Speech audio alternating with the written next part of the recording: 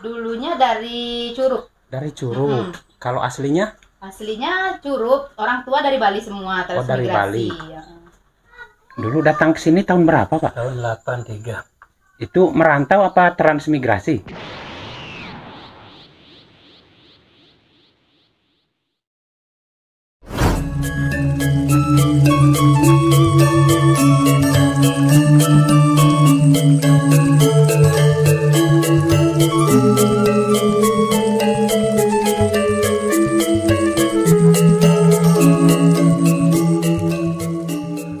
Assalamualaikum warahmatullahi wabarakatuh. Kembali lagi bersama saya di channel Inovasi Kreator. Di kesempatan siang hari ini saya sedang berada di salah satu dusun. Namun di sini saya belum tahu dusun ini masuk ke desa mana. Dan nanti kita akan menyapa warganya dan bertanya dusun ini masuknya ke desa mana. Jadi jangan ke mana-mana ikuti terus video ini sampai dengan selesai Buat teman-teman yang baru saja menemukan channel ini, jangan lupa dukungannya dengan cara subscribe, like, komen, dan share di media sosial yang teman-teman punya. Agar saya lebih semangat lagi untuk meliput suasana pedesaan yang ada di Kabupaten Bengkulu Utara. Situasi dan kondisinya seperti ini ya teman-teman.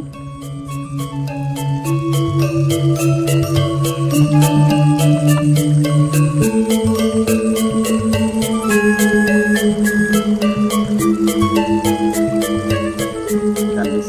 ada persimpangan juga teman-teman seperti itu.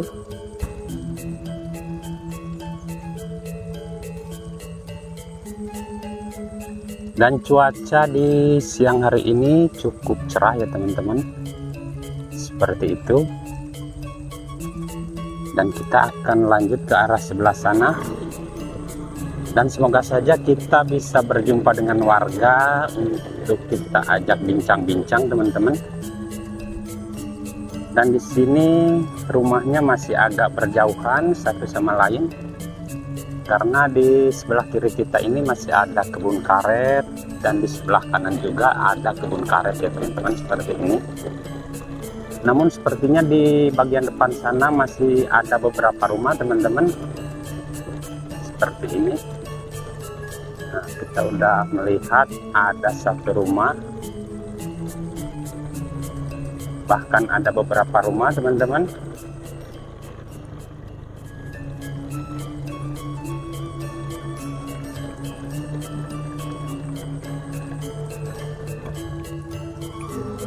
Dan ini sepertinya warga yang berasal dari Pulau Bali teman-teman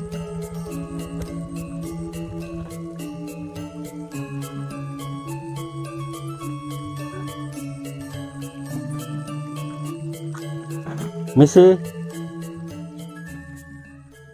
Kalau ini masuknya ke desa? Ini udah masuk penduduk Patang Sapang. oh masuk ke desa Pematang Sapang. Oh.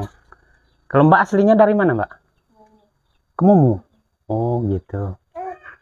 Ya lah mbak. Makasih ya. Nah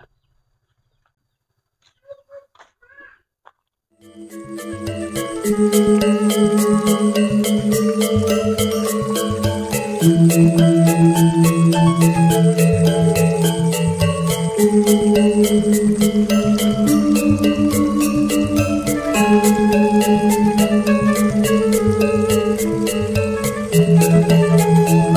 dia teman-teman. Ini rumah-rumah warga yang berasal dari Pulau Bali ya teman-teman.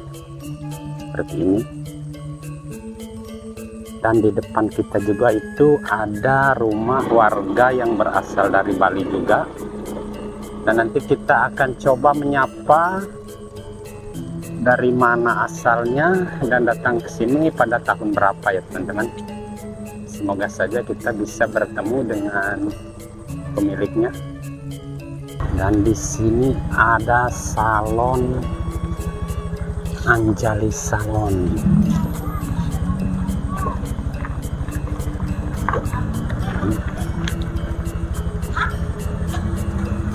Misi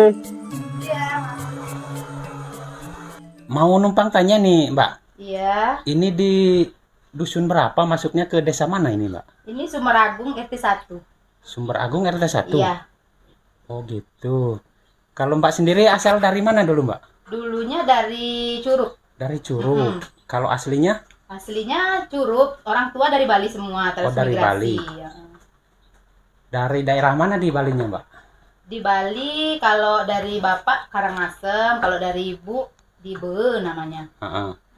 Masih inget nggak Mbak itu desanya dari desa apa gitu, kecamatan apa di Balinya? Oh enggak, orang tua baru sekarang kan udah berubah-berubah sekarang kan? Oh gitu. Iya. Heeh. Tapi dari daerah mana? Daerah Karang Karangasem. Karangasem. Karangasem tuh banyak itu kecamatannya berapa? Ini usahanya nyalon ini Mbak. Iya. Nah ini kalau misalnya ada teman-teman yang mau datang ke salon ini, ini alamatnya di mana nih Mbak? Alamatnya di Sumber Agung, RT 1 Anjali Salon. Anjali Salon. Iya. Ya lah, Mbak, terima kasih ya. Aku mau Iya. jalan-jalan ke arah sana. Iya, sama-sama.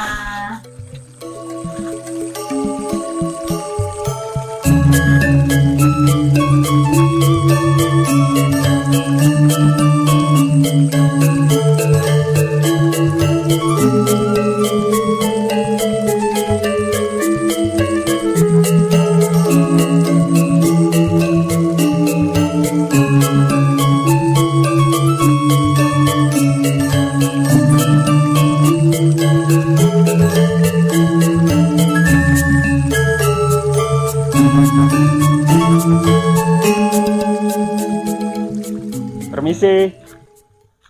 Eh, Dengan Bapak siapa ini, Pak?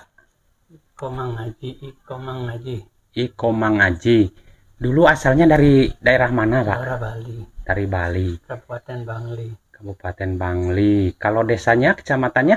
Kecamatan Tembuku, Desa Penide Kaje, Desa Penide, Kaje, Penide Kaje. Kecamatan Tembuku, Berobekel, Tembuku, Oh, gitu. ya, Dulu datang ke sini tahun berapa, Pak? tahun 83, Itu merantau apa transmigrasi? merantau, Oh, merantau. ya. Heeh. Sama keluarga berarti, Pak ya? Ya, pertama kita sendiri nengok-nengok dulu kan, Heeh. Ini sesuai dengan, dengan alam iklim di sini, alam di sini. Nggak agak mirip lah dengan daerah kita di Bali. Oh, gitu. Itu nanti udah itu kita balik dari sini ajak orang rumah aja mau ke sini dia mau kan Heeh. jadi sini 83 kami Mm-mm. Kalau di sini sekarang apa Pak usahanya Pak? saya sudah ada, ada usaha udah tua ini pak Heeh. Maksudnya Sudah. mungkin dilanjutkan sama anak-anak Pak ya? Ya, anak-anak PNS Oh ada yang PNS. ya yang ini yang ada mobil ini kan Heeh. PNS berolahraga Anaknya berapa orang Pak? empat orang Empat orang. Yang jadi PNS berapa orang Pak? dua orang Oh dua orang. Nah selain ke kepala desa satu orang oh, kepala desa di mana Pak? di Bali Oh di Bali. dua periode Ada yang pulang ke Bali lagi berarti? ada Anak yang jadi kepala desa itu? kepala desa yang itu aja yang yang tidak sarjana lah Mm-mm.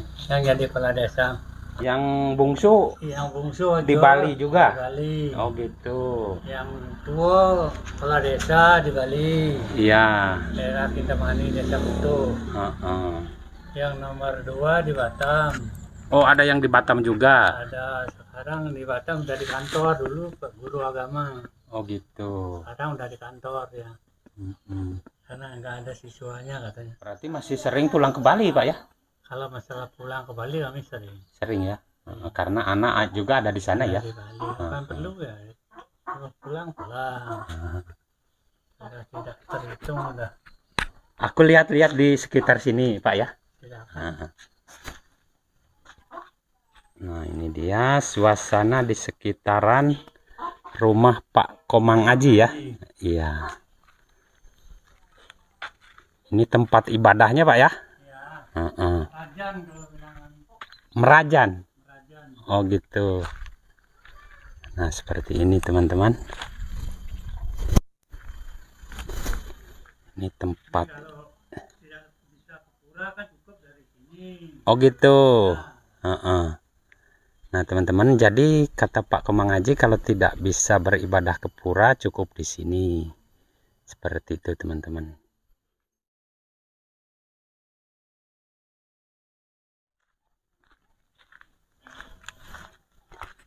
Kalau di sekitar sini ada berapa kakak Pak yang warga dari Bali Pak? Kalau dari Bali banyak. Enggak yang di sini aja, Di sini hanya empat kakak lah. empat kakak.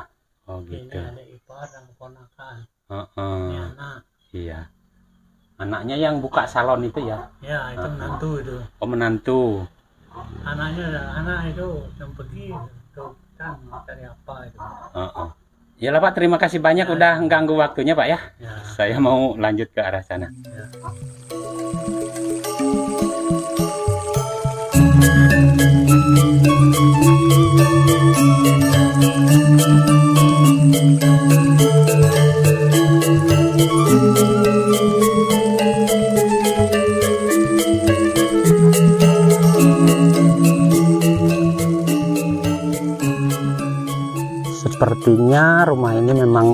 Rumah paling ujung di sekitar sini.